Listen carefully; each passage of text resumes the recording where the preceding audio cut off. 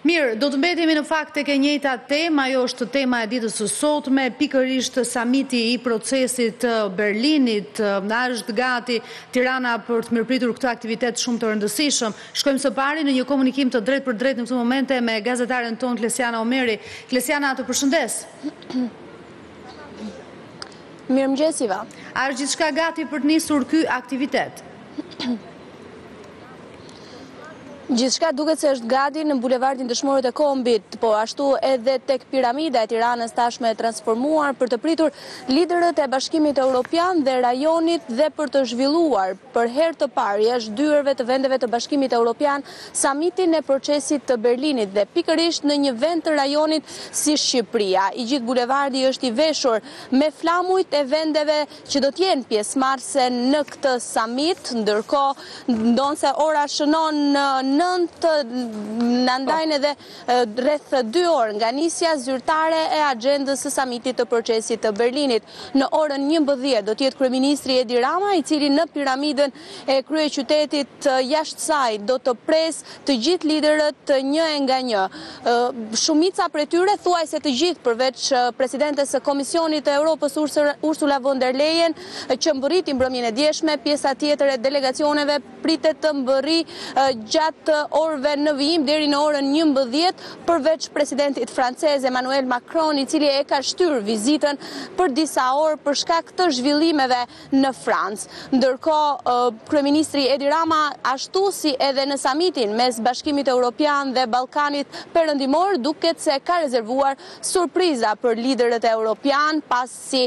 kemi parë mjaft të rinj me veshje tradicionale, të cilët po përgatiten për të pritur liderët europianë dhe të rajonit. Me sa duket elementet tradicionalë nuk do të mungojnë gjatë pritjes zyrtare që kryeministri Edi Rama ka rezervuar për të gjithë të pranishmit. Më pas do të ketë dy sesione të mbyllura ku do të diskutohet rreth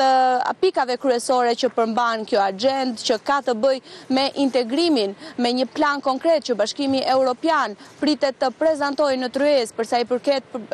integrimit të rajonit, por gjithashtu edhe diskutime të tjera që lidhen me tregun rajonal dhe atij të Bashkimit Europian për t'i përafruar edhe më shumë vendet. Për sa i përket planit ekonomik me të cilën Bashkimi Europian synon që të përforcojë rrugën e vendeve të rajonit drejt Bashkimit Europian, bëhet fjalë për një paketë prej 28 miliardë euro që do të fokusohet në dy drejtime, në planin e rritjes dhe përmes fondeve IPA. Ndërkohë, kjo është një paketë e cila është prezantuar ditën e djeshme në konferencën e përbashkët për media që pati kryeministri Edi Rama me presidenten e Komisionit Europian, ku u theksua se detajet e tjera përsa i përket të gjithë zhvillimit apo edhe mënyrës se si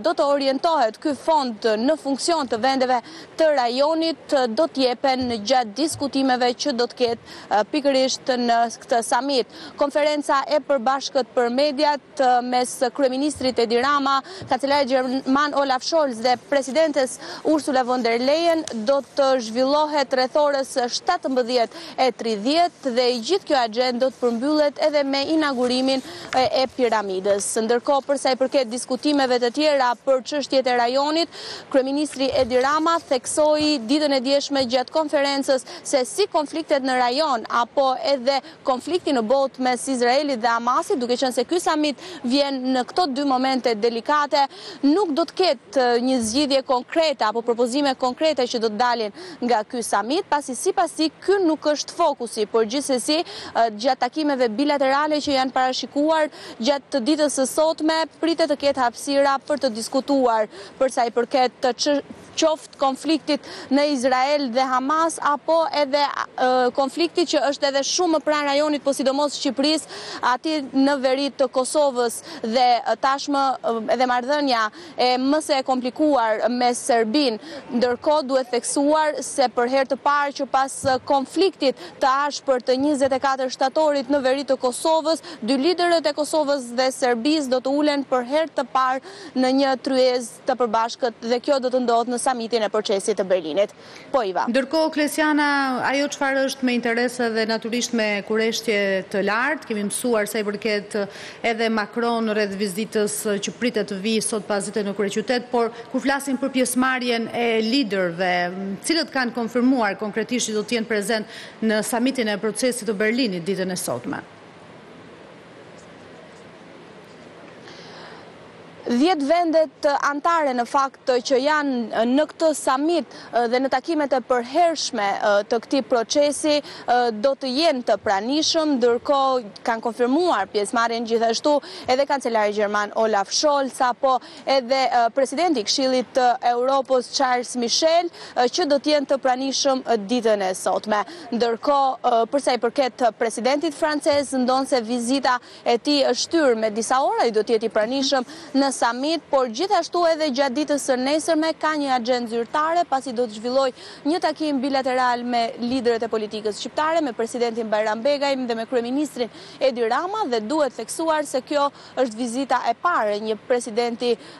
francez në Shqipëri.